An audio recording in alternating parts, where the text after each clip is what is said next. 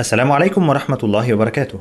نشرة الأخبار اليوم الأحد السابع من ذي القعدة لعام 1438 للهجرة الموافق 30 من يوليو لعام 2017 للميلاد نقدمها لكم من موقع أنا السلفي. كرمت أمانة حزب النور بمحافظة كفر الشيخ أعضاء الحزب الذين شاركوا بمؤتمر الشباب بالإسكندرية وذلك بحضور السيد خليفة نائب رئيس الحزب والدكتور محمد خليفة أمين الحزب بالمحافظة. عقدت أمانة حزب النور بمحافظة الجيزة اجتماعا لأمناء ووكلاء المراكز لمناقشة خطة العمل المستقبلية وعرض الخطة الربع السنوية وآليات تنفيذها. نظمت أمانة حزب النور بمركز بدر في محافظة البحيرة حفل تكريم لأبناء المركز المتفوقين في الشهادات العامة والأزهرية بحضور هيئة مكتب الحزب بالمركز. اقتحمت قوات من جيش الاحتلال الإسرائيلي فجر اليوم الأحد البلدة القديمة وسط مدينة رام الله وفرضت حصارا على بعض الأبنية السكنية بزعم البحث عن مطلوبين. اعتقلت قوات الاحتلال الإسرائيلي فجر اليوم الأحد 15 مواطنا فلسطينيا في مداهمات واقتحامات شنتها بأنحاء متفرقة من الضفة الغربية. اقتحم عشرات المستوطنين اليهود صباح اليوم الأحد المسجد الأقصى من باب المغاربة. قدرت أعدادهم بأكثر من 140 مستوطنة ونظموا جولات استفزازية في أنحاء متفرقة من باحاته بحراسة شرطية مشددة. فتحت سلطات الاحتلال الإسرائيلي فجر اليوم الأحد باب المطهرة بالمسجد الأقصى وهو مكان للوضوء والطهارة ولا يفضي هذا الباب إلى خارج الحرم القدسي والبلدة القديمة في القدس. أصيب فتيان فلسطينيان اليوم برصاص قوات الاحتلال الإسرائيلي خلال مواجهات اندلعت بمخيم جنين واعتقلت على إثره عددا من الشباب. ارتفعت حصيلة قتلى كمين جماعة بوكو حرام الذي استهدف فريقا لاستكشاف النفط في نيجيريا الثلاثاء الماضي إلى 69 شخصا على الأقل في الوقت الذي ظهر فيه ثلاثة مخطوفين لدى الجماعة يوجهون نداء في تسجيل فيديو. قالت وسائل إعلام سعودية السبت إن ثلاث جنود من حرس الحدود السعودي قتلوا خلال صد هجوم كبير لميليشيات الحوثي بالحدود الجنوبية للمملكة.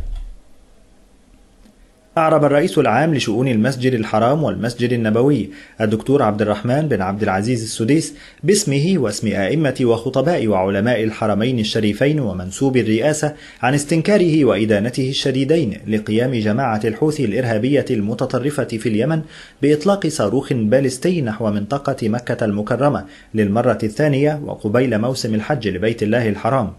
وأشار السديس في بيان صادر عنه اليوم الأحد إلى أن هذا العمل الآثم عدوان سافر على أم القرى وقبلة الورى وأطهر بقاع المسلمين ومهوى أفئدة المؤمنين.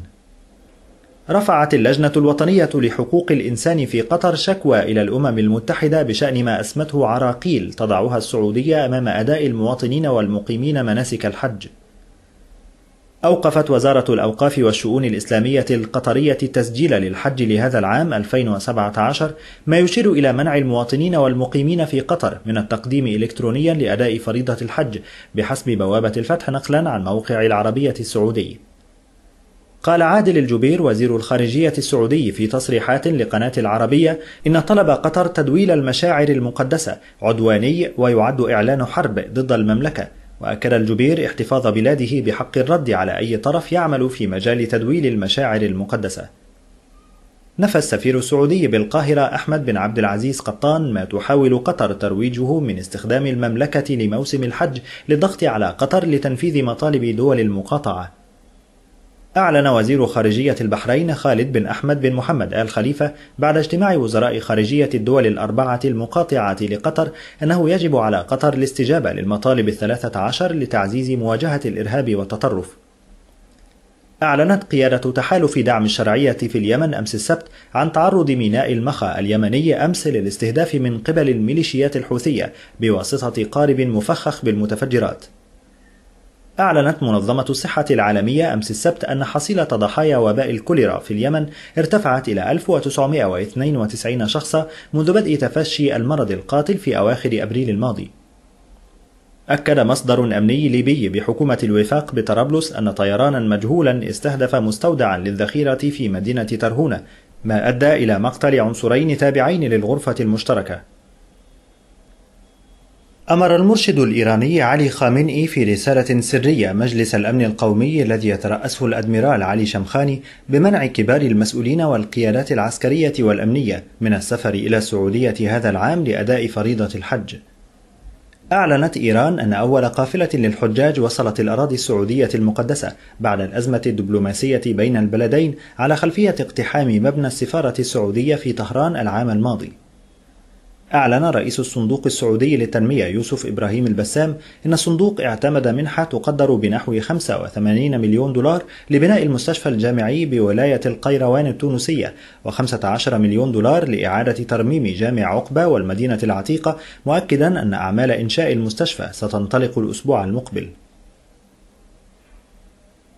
أعلن رئيس مجلس حقوق الإنسان التابع للأمم المتحدة السفير جواكين مارتيلي عن التشكيل الجديد لبعثة تقصي الحقائق الخاصة ببحث الانتهاكات في ميانمار وقال رئيس مجلس حقوق الإنسان في بيان صدر في جنيف أن البعثة ستعمل بطريقة مستقلة وموضوعية وستتلقى الدعم من فريق من المتخصصين في مجال حقوق الإنسان في جنيف والذين يتمتعون بخبرات مختلفة تتصل بولايتهم التي حددها مجلس حقوق الإنسان في قراره.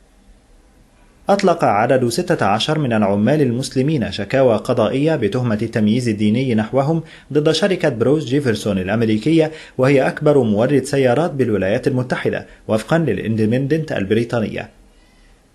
أشار الدكتور أحمد المالكي عضو المكتب الفني بالأزهر الشريف إلى أن مصر تحتل المركز الأول في نسبة الإلحاد على مستوى الدول العربية مطالبا الأهالي احتواء الأبناء بهدف مواجهة هذه الظاهرة حيث إن الدور لا يقتصر على الأزهر ووزارتي التعليم والثقافة فقط موضحا أن الأسئلة التي تشغل بال الملحد طرحت من قبل والأزهر قدم إجابات لها مؤكدا أن الأزهر يعقد دورات لمناقشة ظاهرة الإلحاد وكيفية مواجهتها. أعلنت وزارة الأوقاف عن فتح باب التقدم في مسابقة لخريجي جامعة الأزهر دور مايو 2017 ميلادية بمتوسط تقدير تراكمي 70% على الأقل فصاعدا من خريجي كليات أصول الدين والدعوة الإسلامية والدراسات الإسلامية والعربية بنين والشريعة والقانون بشعبتيها وكلية القرآن الكريم وكلية اللغة العربية وكلية اللغات والترجمة قسم الدراسات الإسلامية جميع اللغات وكلية التربية جامعة الأزهر شعب الدراسات الإسلامية الإسلامية واللغة العربية واللغة الإنجليزية واللغة الفرنسية. أصدرت النيابة العامة بمحافظة الدقهلية قرارها بحبس موظفة بمكتب بريد بمركز السنبلاوين 15 يوما على ذمة التحقيقات وتشكيل لجنة ثلاثية من هيئة البريد المصري لتحديد المبالغ المختلسة وقال بيان مديرية الأمن الصادر أمس السبت إنه تم ضبط منى ألف ألف معاونة مكتب بريد عزبة صقر لاستيلائها على مبلغ 611 ألف جنيه من دفاتر توفير بعض العملاء واعترفت بارتكاب الواقعة وسددت مبلغ 294 ألف 782 جنيه. اعتمد وزير الداخلية اللواء مجدي عبد الغفار حركة التنقلات والترقيات السنوية لضباط الشرطة وذلك عقب اجتماع المجلس الأعلى للشرطة أمس السبت لإقرارها. أعلن الدكتور هشام الديب رئيس معهد بحوث الإلكترونيات انضمام مدينة العلوم للبحوث الإلكترونية إلى الجمعية الدولية للمدن العلمية والتكنولوجية ومناطق الابتكار ليكون معهد بحوث الإلكترونيات أول جهة مصرية تنضم لها. اعتمد الدكتور محمد سلطان محافظ الإسكندرية ظهر اليوم نتيجة امتحان الدور الثاني للصف السادس الابتدائي لعام 2016-2017 بنسبة نجاح بلغت 51.2% وبذلك تكون نسبة النجاح في الدورين الأول والثاني معا 93.9% وكذا اعتمد امتحان الدور الثاني للصف الثالث الإعدادي العام. بنسبة نجاح بلغت 79.4% وبذلك تكون نسبة النجاح في الدورين 94 وواحد من عشرة في المئة بحضور جمعة ذكري وكيل أول وزارة التربية والتعليم بالإسكندرية.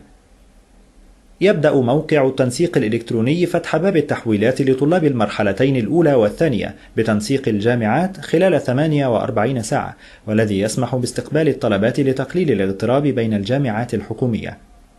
تشاهدون اليوم على موقع أنا السلفي سورة الزخرف من سلسلة دفع إيهام الاضطراب وعجزي كنزي واحد فضيلة الشيخ محمد إسماعيل المقدم. وعاشروهن بالمعروف. الشيخ سعيد صابر. التفكير بالشعارات. الدكتور أحمد خليل خير الله. تقرؤون اليوم على موقع أنا السلفي. ولا تقتلوا النفس التي حرم الله إلا بالحق. عشرة. بعض أحكام عقد الأمان. كتبه ياسر برهامي. النفاق وأثره على الأمة. كتبه أحمد حمدي. حكم أخذ أرباح متغيرة في مال المضاربة بلا تحديد ولا حساب. فتوى للدكتور ياسر برهامي. انتهت نشرة الأخبار من موقع أنا السلفي. السلام عليكم ورحمة الله وبركاته.